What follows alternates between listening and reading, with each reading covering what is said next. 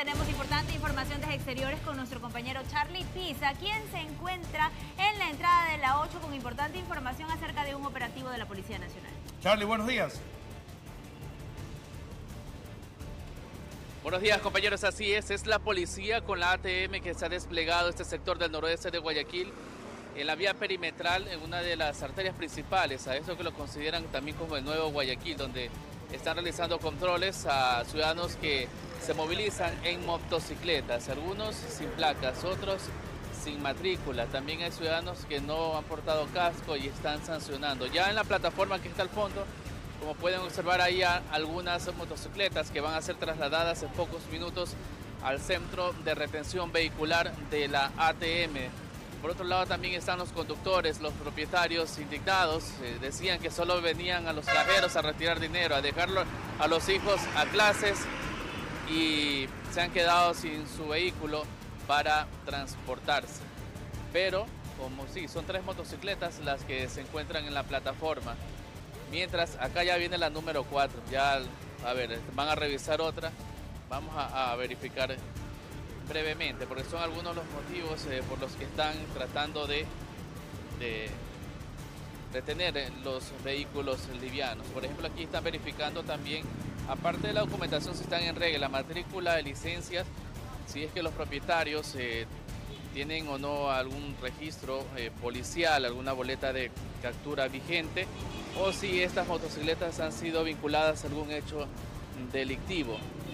Por ejemplo, el ciudadano ya está sacando su cédula, también la licencia, mientras que del lado de acá, por parte de la ATM, está solicitando también documentos, pese a que no hay... Caballero, buenos días.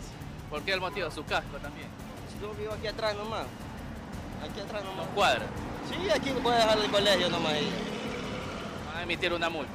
No, sí, vivo aquí atrás nomás. Salí fue a dejar el colegio nomás y ya. Pues. Ah, igual hay que cumplir con la ley. Pero si vivo aquí atrás, ¿cómo va a ser? Ella se lleva el casco, por eso se lo llevo a ella. Pues. Bueno, la ley está circulando también, igual hay que utilizar.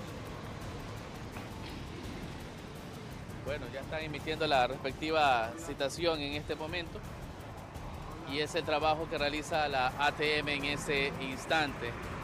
Por ejemplo, del lado de acá vamos a ver si conversamos, ahí están de este lado los conductores, eh, solo viendo de lejos cómo están subiendo en este instante la cuarta motocicleta a la plataforma. Algunos no han realizado la respectiva eh, matriculación del vehículo y se han descuidado en cuanto a realizar este trámite indispensable. Por ese motivo también están tratando de buscar llegar hasta este sitio. A ver, vamos a contarlas.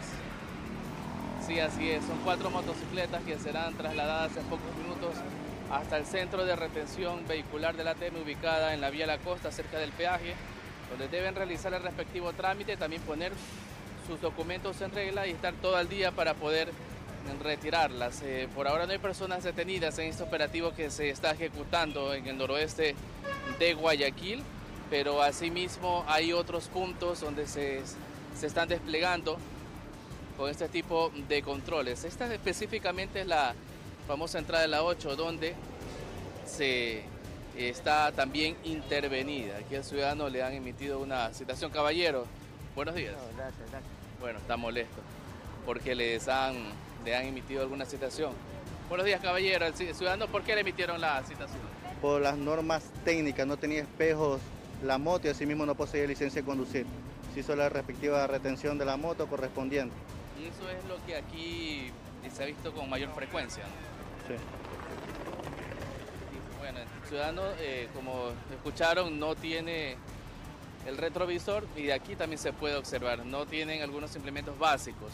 Lo que piden en la revisión, tener los eh, equipos, accesorios necesarios y aquí no están cumpliendo con ese tipo de requisitos en cuanto a las motocicletas que circulan por este sector. La vía perimetral en la entrada de la 8 donde están realizando este operativo. Cuando son las 8 de la mañana con 7 minutos, compañeros, ustedes tienen más información de este estudio.